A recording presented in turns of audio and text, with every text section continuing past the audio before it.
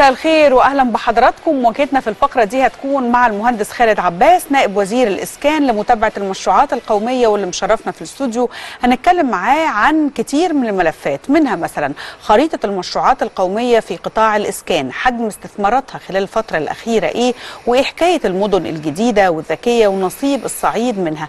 هنتكلم طبعا عن مشروعات الإسكان الاجتماعي اللي شغالة على قدم وساق وصلت لغاية فين طبيعة مساهمة الوزارة في توفير الإسكان المتوسط. أراضي بيت الوطن للمصريين في الخارج تصدير العقار هنتكلم عن العاصمة الإدارية مدينة العالمين الحقيقة. يعني ملفات كتير إن شاء الله الوقت يسعفنا إن إحنا نطرحها كلها على ضيفي المهندس خالد عباس. مساء الخير واهلا بيك يا باشمهندس. مساء الخير أهلا بحضرتك. أنا عايزة الحقيقة أبدأ على طول آه، آه، بشكل عام يعني بمشروعات آه، وزارة الإسكان. لو اديت لنا كده صورة عن هذه المشروعات إيه اللي ممكن تقوله لنا؟ يعني المشروعات القومية طبعا الخاصة بوزارة الإسكان إيه اللي تقوله لنا عنها قبل ما ندخل في تفاصيل كل مشروع خاص بيها. بسم الله الرحمن الرحيم. آه، طبعا وزارة الإسكان بتهتم ليها أربع قطاعات رئيسية. القطاع الأولاني اللي هو قطاع ال- المدن الجديدة أو هيئة المجتمعات العمرانية الجديدة وجميع المدن الجديدة. القطاع الثاني والاكثر اهميه آه، القطاع الصرف أو المياه والصرف أو المرافق. والقطاع الثالث الإسكان. والقطاع الرابع اللي هو اللي إحنا بنقول عليه التطوير العشوائيات أو التطوير الحضاري. دول أربع قطاعات كبيرة في الوزاره كل قطاع منهم طبعا هيئة المجتمعات يمكن كثيرين يعرفوا آه، إيه هيئة المجتمعات. إحنا هي مختصة بجميع المدن الجديدة. النهارده يمكن وصل قرارات المدن الجديدة حوالي 40 مدينة بعد القرارات الأخيرة اللي سياده الرئيس اصدرها آه، لو جينا المياه والصرف طبعا كل ما تحتوي هذا الملف من مياه من مشاكل المياه والصرف وكل ال- المشروعات الجديدة في في هذه. طبعا حجم الاستثمارات في قطاعات الوزارة كلها يعني يمكن يقترب النهارده يعدي في السنة يمكن 300 مليار آه، 250 مليار سنويا في كل القطاعات.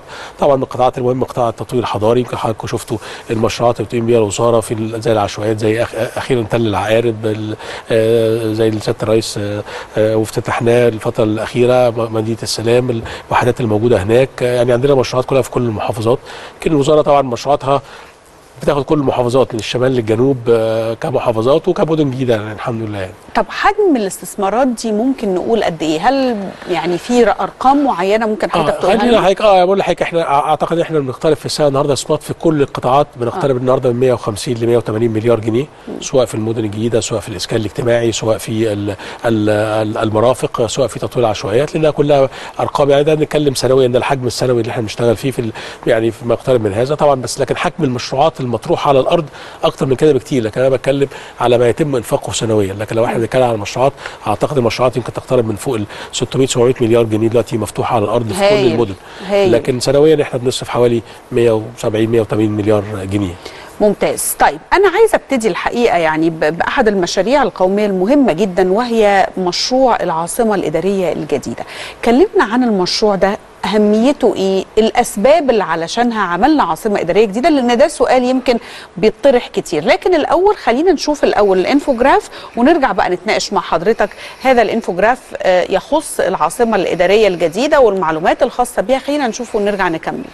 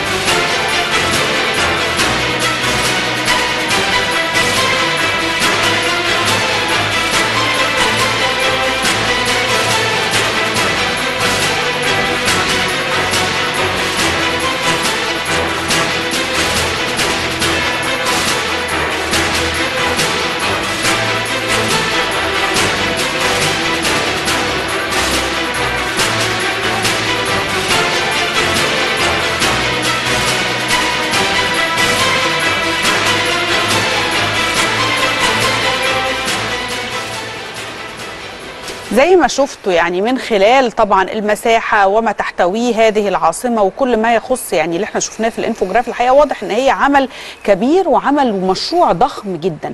كلمنا عن الأول الفكرة يا باشمهندس خالد من إنشاء عاصمة إدارية جديدة. طيب خلينا نتكلم حضرتك بس الأول يعني مش عاصمة بس خلينا نتكلم إحنا النهارده عندنا زيادة سكانية حضراتكم كلكم عارفين من 2 ونص بين 2 ونص 3 مليون سنويا. سنة. آه، إحنا في الوزارة لما حطينا مخطط استراتيجي ل 40 50 سنة قدام. قلنا إن إحنا في خلال ال 40 سنة اللي جايين إحنا هنتضاعف أحسن الفروض بتقول هيبقى 160 مليون اسوء الفروض بتقول إن إحنا هيبقى 180 مليون. فكانت الفكرة الناس دي هتسكن فين أو هتعيش فين؟ فبدأت من هنا إذا كنا النهارده القاهرة 20 مليون وبت... وبت... وبتزيد كل شوية. خلاص العاصمة بقت النهارده بقت مكتظة.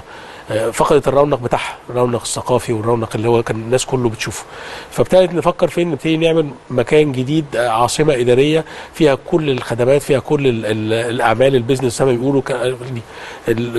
التطور في التخطيط الطبيعي بالنسبة لمصر إن إحنا بننمو شرقا اللي هي ناحية مشروع قوي. وبالتالي كانت العاصمة في مكان يعني يعتبر مكان آه، زي ما إحنا بنسميه مميز جدا. عندنا حوالي 60 كيلو من قناة السويس مشروع قومي عندنا في قناة السويس محور قناة السويس ده أحد المشروعات الكبرى في الدولة.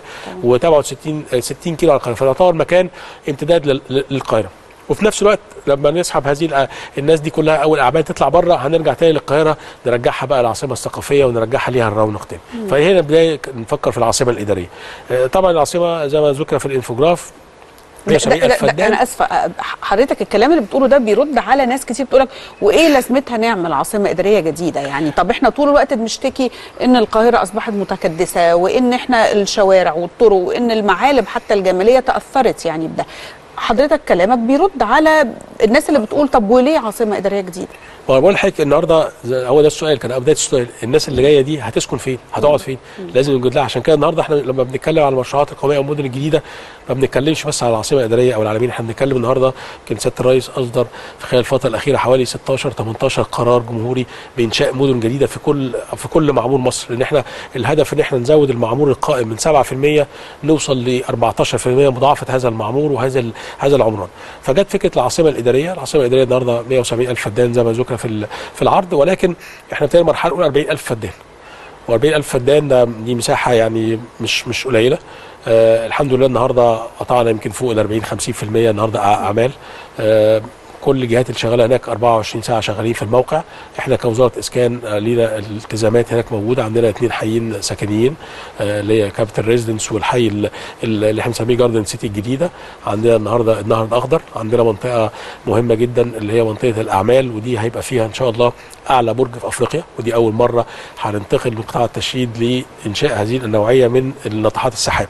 هنتكلم في النهارده برج هيوصل لحوالي 90 90 دور آه، 380 أو 385 متر مع مجموعة من الأبراج حوالي 20 أو حوالي 20 برج برضه بتصل ل 250 متر. فدي نوعية جديدة هتنقل آه، وجه مصر وقطاع التشييد لمنطقة جديدة خالص. الحمد لله كل هذه الأعمال تحت تحت الإنشاء حاليا. الحي السكني الأولاني انتهى ويمكن حضراتكم سمعتوا إحنا من فترة أعلنا عن وحدات وتم حجزها وهنطرح وحدات جديدة.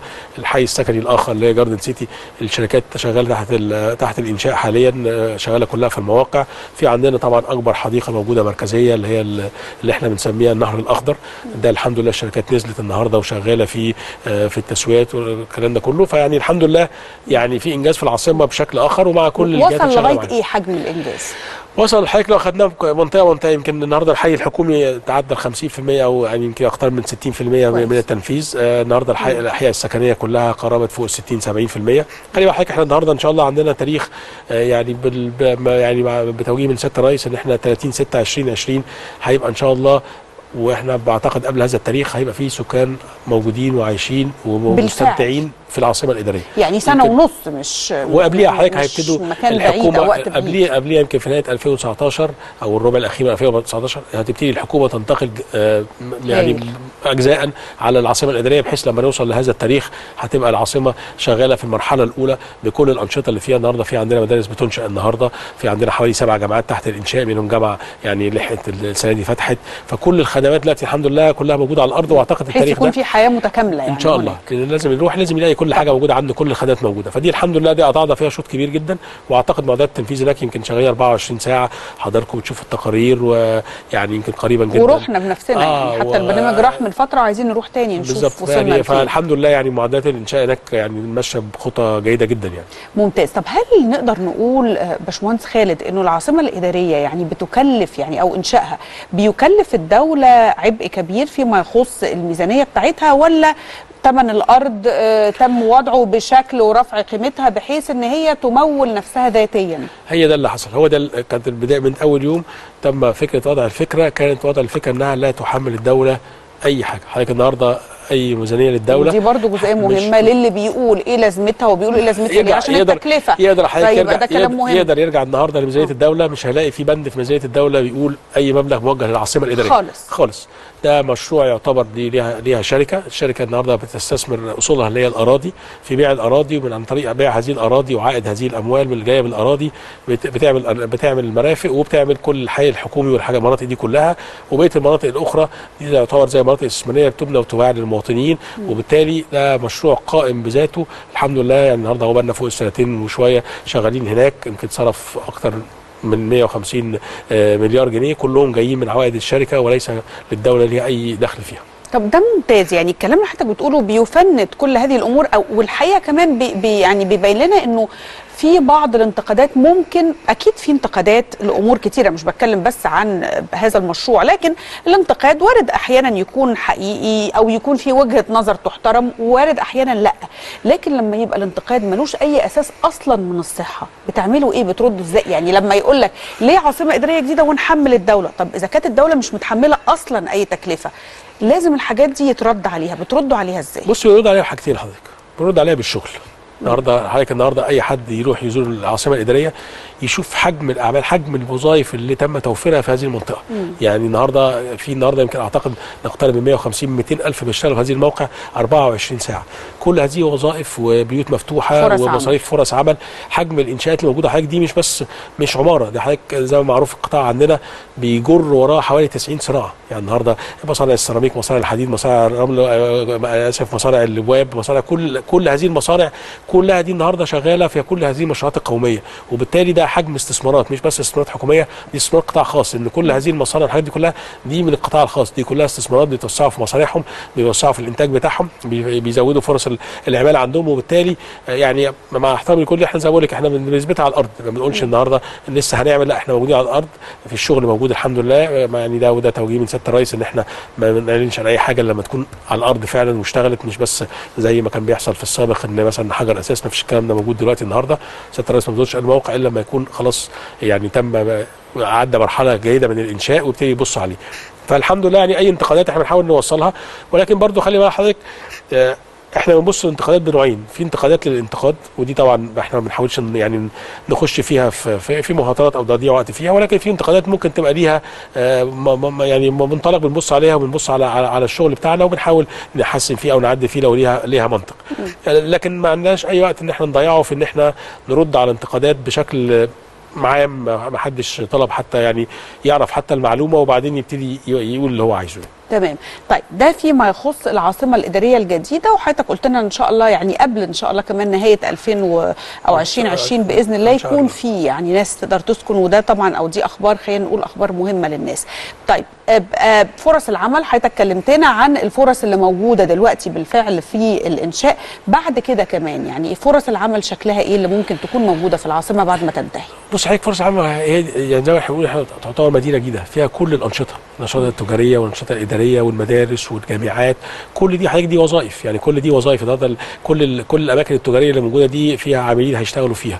النهارده المدارس دي كلها سواء معلمين سواء الوظائف الإدارية كل دي وظائف جديدة. الجامعات آه، كل حاجة فيعني دي مدينة فيها كل أنواع الوظائف كل الأشغال يعني على جميع مستوياتها. في منطقة أعمال منطقة بنوك آه، كل دي دي وظائف جديدة سواء الناس اللي هيتنقلوا هناك أو وظائف جديدة هيتم توفيرها لل- للعاملين. فيعني طب إحنا بنسمع إنه العاصمة الإدارية الجديدة هتكون مدينة ذكية أو من مدن الجيل الرابع وطبعا مش لوحدها ده يعني القائمه مستمرة. العاصمه الإدارية الجديدة العالمين الجديدة غرب قنا غرب أسيوط يعني القائمة تستمر وما نلحقش إن إحنا نخلصها. يعني إيه مدن ذكية أو مدن جيل رابع؟ مدن الجيل الرابع دي اللي إحنا إحنا عندنا في هيئة المجتمعات تم إنشاء المدن على سلس على, على فترات زمنية. كان إحنا كنا آخر حاجة كانت الجيل الثالث ودي الجيل الرابع. الجيل الرابع إحنا بنقصد بيه النهارده آه، آه، المدن اللي هي تم صدرت بها قرارات آه، جمهورية في الفترة الأخيرة. وفي نفس الوقت أول مرة هيبتدي هذه المدن هتدار إدارة ذكية بمعنى إن هيبقى في زي مركز تحكم للمدينة بالكامل بيتحكم في جميع المرافق بيتحكم في الأمن بيتحكم في المواصلات الموجود في هذه المدينة بيتحكم في كل حاجة بالكامل في شاشات عباره الحمد لله إحنا يعني شفنا التجارب الدول الأخرى طرحنا الكلام ده كله النهارده.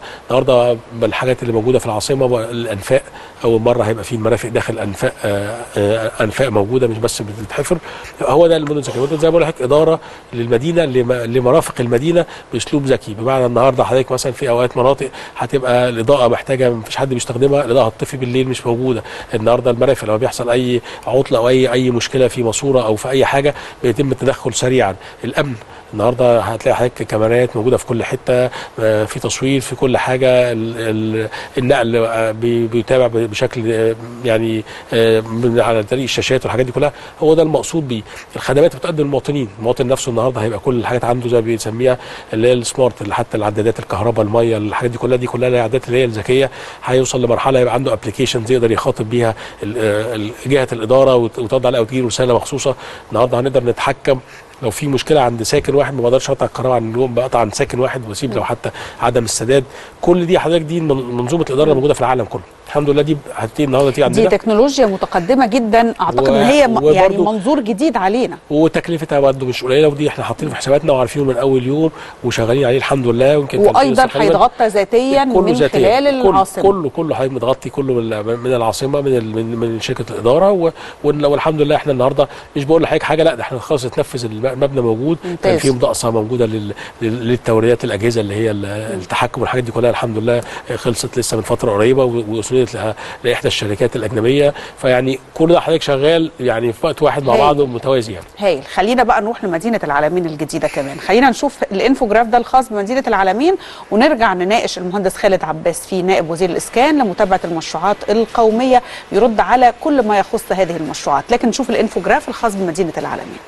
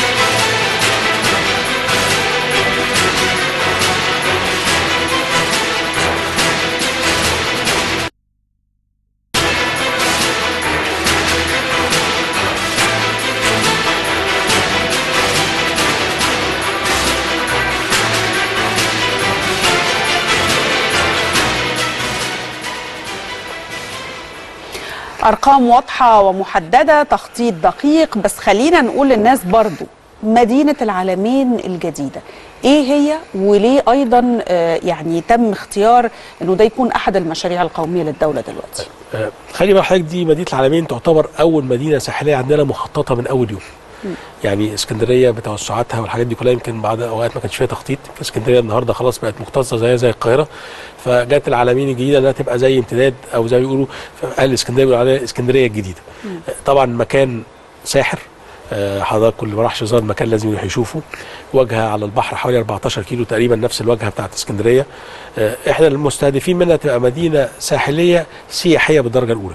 إنها تبقى زي بره المكان هناك أحلى من مدن كتيرة على البحر المتوسط في كل حاجة في الجو في المية البحر في الشاطئ نفسه وإن شاء الله هتبقى في الخدمات.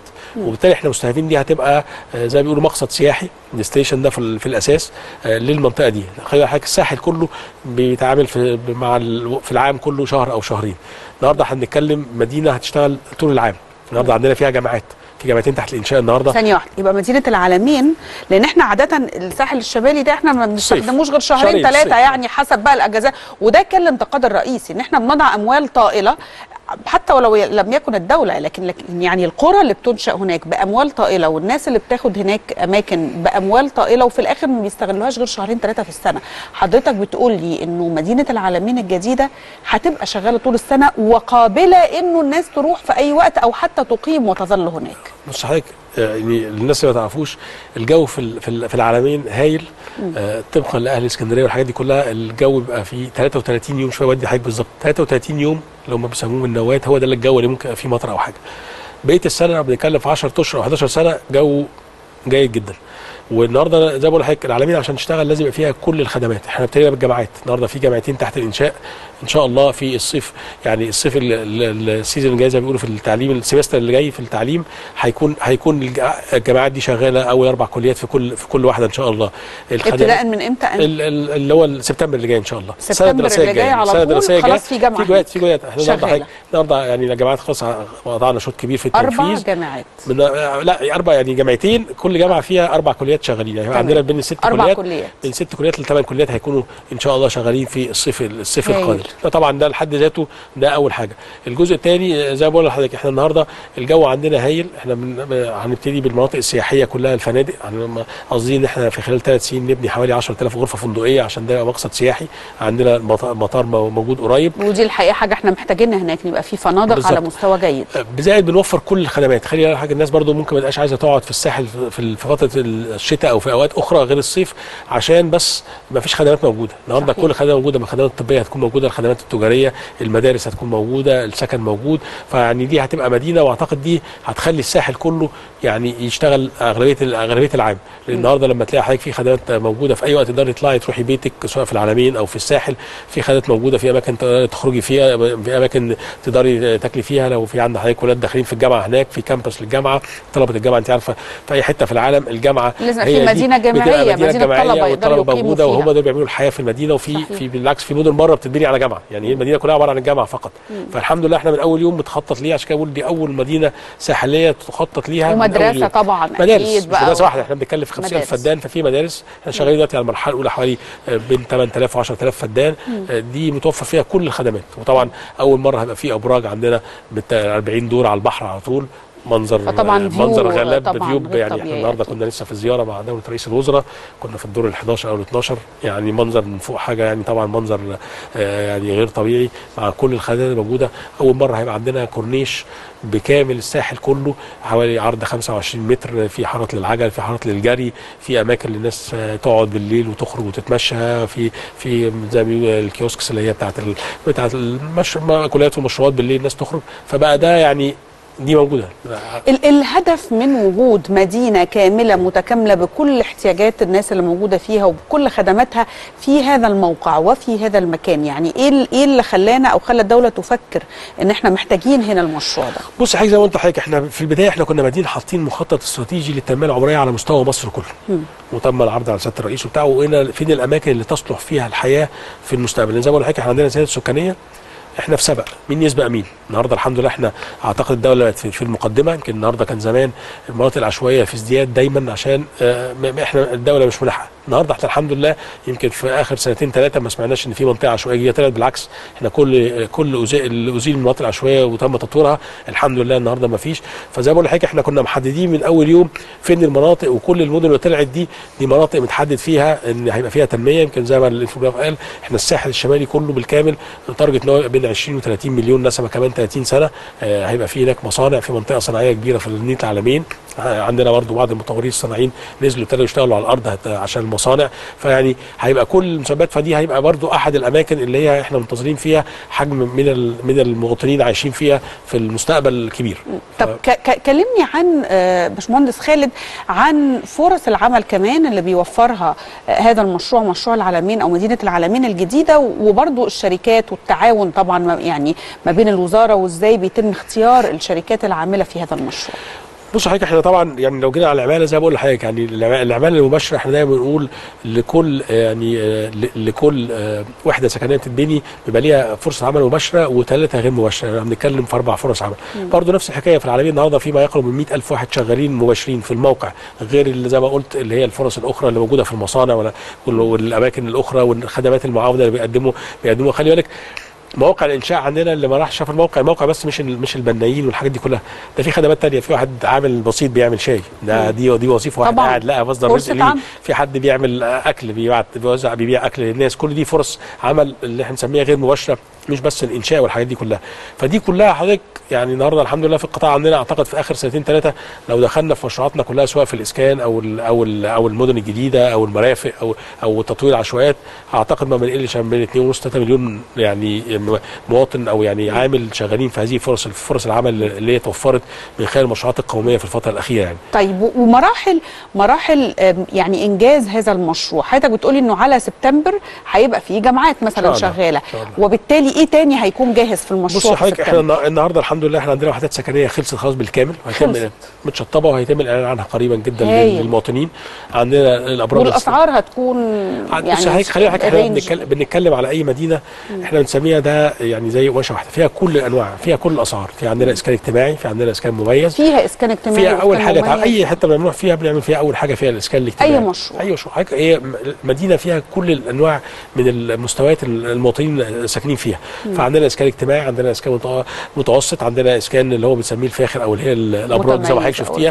في عندنا فيلات لازم المدينة تبقى كلها نسيج واحد. مش عارف أقول دي مدينة بتاعت أغنياء أو دي مدينة بتاعت متوسطين. لا هي المدينة من أول يوم بتبقى مخطط ليها والسكن كله هتلاقيه كله مع بعض. مش مثلا دي في منطقة ودي في منطقة ده كله موجود. آه في بعض المناطق بتبقى مميزة. هي دي اللي بنخليها مثلا الإسكان الفاخر. ولكن الباقي كله بيبقى نسيج واحد مع بعضه بكل الخدمات اللي موجودة فيه. وهتعلنوا عنها قريب؟ قريب جدا. هيبقى في إعلان عن, وحدات آه، إسكان متميز اللي يعني إسكان اجتماعي متميز وفي عندنا وحدات اللي هي آه، المتوسطة. وكنا إحنا اعلنا من فترة على حجز فيها و- الأبراج السكنية. اللي هي على مباشره على البحر على طول دي كنا اعلنا عليها في الصيف اللي ممتاز. فات. ممتاز. وإمتى تنتهي تماما يعني أو ينتهي إنشاء العالمين الجديد بص حضرتك الإنشاء العالمي إحنا بنتكلم في 50000 فدان. طبعا دي هتاخد لها فترة. لكن إحنا دلوقتي شغالين في المرحلة الأولى حوالي 8000 فدان. برضو إن شاء الله يعني برضو نفس ال- الفكرة إحنا عندنا. هي كم مرحلة؟ إحنا عندنا حوالي أربع مراحل تمام. حوالي من 8000 و 9000 فدان. إن شاء الله 30 6 يعني إحنا بنحاول إن شاء الله الصيف الجاي هيبقى في حاجات جاهزة. الوحدات اللي إحنا خلصناها تبقى متوفرة للناس ممكن تصيف فيها السنة الجاية. شاء الله. ولكن من بعد الصيف اللي بعديه أو 30 6 إن شاء الله 2020 هتبقى الحياة قايمة. هيبقى عندنا الجامعة اشتغلت خلاص الحمد هايل. لله بكلياتها. عندنا الاماكن ال- ال- المطاعم وكل الخدمات التجارية هتبقى موجودة. في أماكن اللي هي إدارية آه، مبنى جهاز المدينة عندنا منطقة آه، يعني تم يعني قريبا جدا هننتهي من أول جامع كبير موجود في المنطقة اللي هناك. عندنا مدينة اسمها بنسميها المدينة التراثية اللي هي حاجة الستايل القديم شوية اللي الناس بقى بتخش بتشوف المحلات وال والأسواق والحاجات دي والحاجات اللي- كلها آه. فبنحاول ننوع في كل الأنواع اللي هي الأنشطة اللي موجودة بحيث إن يبقى آه، يعني كل الخدمات متكاملة إن شاء الله. إن شاء الله. طيب ده فيما يخص العالمين ال- الجديدة. طيب وحضرتك قلت لي طبعا اتكلمنا عن فرص العمل قد إيه هي يعني فيها إن شاء الله فرص عمل كتير.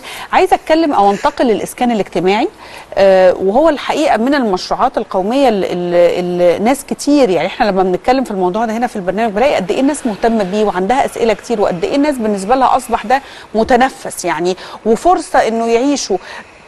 في أماكن آه، تحترم أدميتهم ويبقى بيوت حقيقي متشطبة حلو جدا ومستواها كويس وفي نفس الوقت بتراعي ظروفهم الاجتماعية والمادية.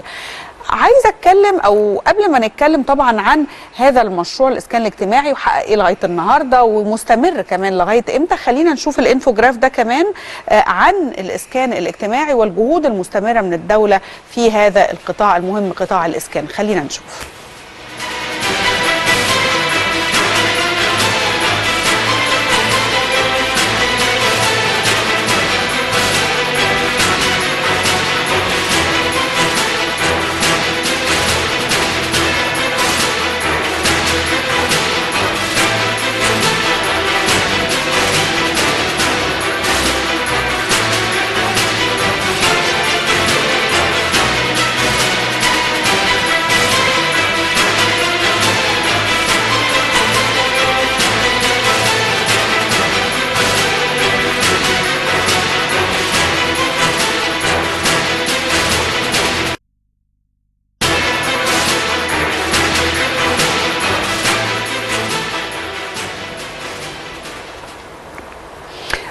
دي أيضا بعض الأرقام والمعلومات المهمة الخاصة بالإسكان هذا المشروع طبعا القومي المهم الاسكان الاجتماعي.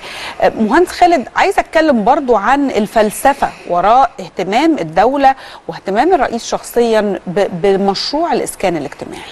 طب خليني بس حضرتك أقول لحضرتك في الأول ده أحد المشروعات اللي كان الانتقاد عليها في الأول غير طبيعي. يعني لما الأول مع سيادة الرئيس طب وجهة النظر كانت إيه في اللي أنا هقول لحضرتك لما جينا نعلن إن إحنا هنعمل مشروع إسكان اجتماعي مليون وحدة سكنية الناس كلها هجمت وقالت إزاي أنتوا بتتكلموا في مليون وحدة بتضحكوا على الناس؟ ويعني كلام ال- يعني اللي حضرتك اللي هو الكلام في. البداية كان عن مليون. مليون وحدة مليون وحدة سكنية.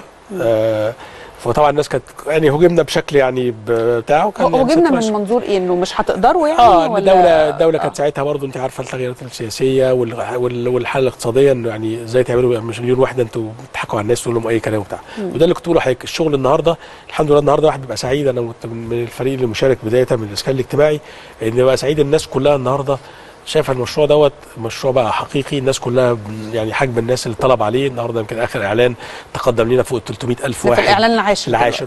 آه تقدم ليها فوق 300 ألف واحد فده ده أبسط مثال رد على أي انتقاد كان يتقال في أي وقت. لو حضرتك بتتكلمي ليه إحنا كوزارة إسكان طلبنا كان يكون في الدستور موجود في مادة إن السكن الملائم حق لكل مواطن. وبالتالي كان لازم النهارده نوفر للمواطن المواطن النهارده سواء آه، بأي مستوى دخل آه، محدود دخل أو متوسط أو بتاع لازم يتوفر له سكن لائق. طبعا. آه، آه، في جزء الدولة بتتحمله لو لو لو مستوى الدخل مش كبير والجزء الثاني بيبقى المواطن هو اللي بيتحمله.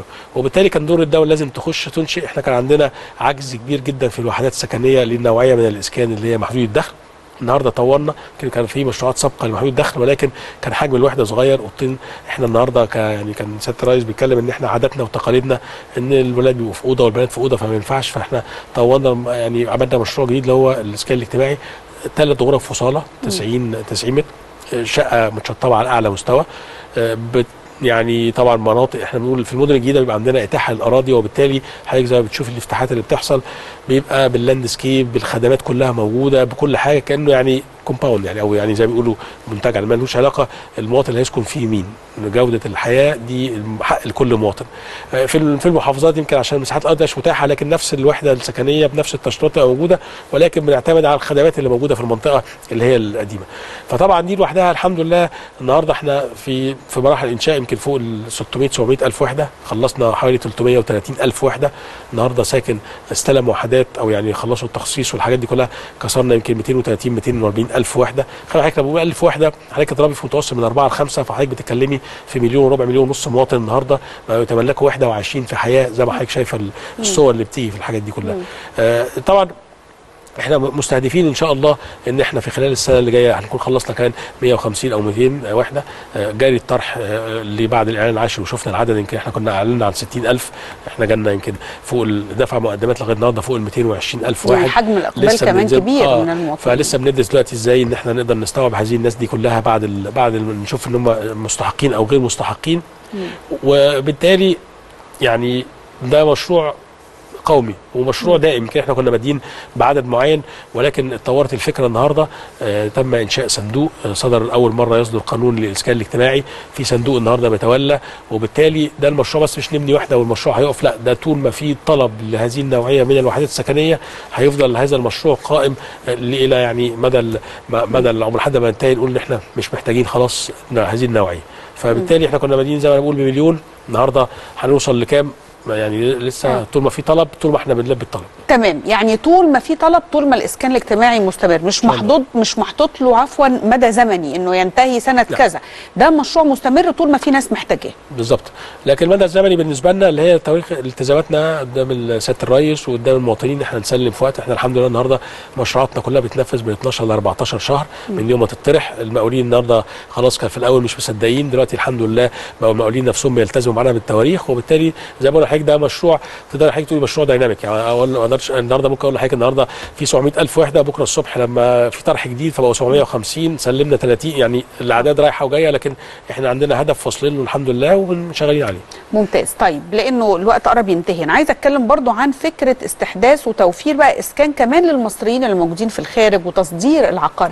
كلمني عن الفكرة دي يعني وإيه اللي خلانا نفكر إن إحنا نتجه في الاتجاه ده؟ طيب آه، آه، خلينا حضرتك هم هم موضوعين. بالنسبة بالنسبة للمصريين في الخارج ده كان كان برنامج إحنا ابتديناه. كان في إن إحنا طبعا في اهالينا اللي عايشين بره ما يجيش وقت يخش مع وزارة الإسكان في الطرح بتاعنا الحاجات دي كلها ما ظروفهم تسمح. فإحنا عملنا برنامج مخصوص ليهم آه، برنامج على احد أعلى مستوى ما أعتقدش حد معمول في العالم إن هو بي- بيتعامل مع الكمبيوتر ما بيتعاملش مع اي أي مواطن بحيث إن إحنا بنطرح نطرح الوحدات على على الموقع. هو بيخش يحجز ويحول الفلوس بتاعته بالدولار لل- للبنك المركزي عندنا وبالتالي الفايدة عايدة على الاثنين هو بيختار الوحدة بتاعته وإحنا كدولة بنستفيد من العوائد اللي هي الدولارية اللي موجودة. ده كان برنامج إحنا وصلنا النهارده لست مراحل المرحلة السادسه جاري تخصيصها دلوقتي. يمكن طرحنا حوالي 13000 قطعة أرض آه، الحمد لله كلهم اتحجزوا بالكامل. آه، طرحنا وحدات سكنية في دار مصر في بعض الوحدات في مدينتي وفي مدينة الرحاب اللي هي بتملكها الوزاره الحمد لله اتغطوا كلهم بالكامل. وزي ما بقول لحضرتك ده ده المرحله السادسه يعني إحنا شغالين كل ما بنخلص مرحلة بنفتح مرحلة جديدة. بالنسبة لموضوع تصدير العقار تصدير العقار النهارده. إحنا لما شفنا كل الدول ودرسنا الدول اللي حوالينا. آه، أحد الم- المصادر الدخل العملة الأجنبية ليهم إن هم بيدوا بيسمحوا للأجانب إن هم يتملكوا وحدات سكنية مقابل إقامة. ودي طبعا كانت حاجة جديدة عندنا. الحمد لله كان في آه، تو- توجه. اشتغلنا مع بنك مركزي اشتغلنا مع وزارة الداخلية. وصدر التعليمات خلاص الحمد لله الأسبوع اللي فات إن إحنا بنتيح الإقامة للأجانب. على قد ثمن الوحدة اللي هو بيشتريها. هايل. لو اشترى وحده 100000 دولار بياخد سنة إقامة وتجدد طول ما الوحدة حائز على الوحدة. لو 200000 دولار بياخد ثلاث سنين وبرضه نفس وده الحكاية. نظام موجود في دول بره يعني كتير. كتير. خلي بالك إحنا لسه ما زالت مصر في القطاع عندنا وقطاع سعر المتر آه لسه مغري جدا. في ناس كتيرة بتحب تمضي وقتها هنا فبالتالي إحنا يعني مستهدفين إن إحنا في تصدير عقار أرقام يعني إن شاء الله تبقى جيدة في خلال السنتين ثلاثة اللي جايين. إحنا نبتدي نطلع بره في معارض بن بن بنسوق سواء إحنا والمطورين العقاريين بنطلع بره في معارض في مؤتمرات عشان نعلن كل هذه الإجراءات. وبالتالي متوقعين يعني إن شاء الله في الفترة اللي جاية نلاقي بعض الإقبال من الأجانب إن هم حابين يجوا مصر سواء في في الشقق دي أو في سكن هوم زي في في البحر الأحمر. أنت عارفة في دول كتير قوي حابين البحر الأحمر وحابين شرم الشيخ وحابين يتملكوا الحاجات دي فهنلاقي إن شاء الله تمام. توجه يعني أنا بشكرك شكرا جزيلا المهندس خالد عباس نائب وزير الإسكان لمتابعة المشروعات القومية شرفتنا ونورتنا والحقيقة كان مهم إن إحنا نسمع يعني أو ناخد نبذة عن هذه المشروعات وأنا عارفة لسه في مشروعات كتير فإن شاء الله يبقى لنا فرص تانية بإذن إن الله حضرتك الله. تشرفنا فيها. إن شاء الله متشكر جدا. شكرا لحضرتك يا فندم. بشكركم شكرا جزيلا وأشوفكم في مواجهة جديدة. إلى اللقاء.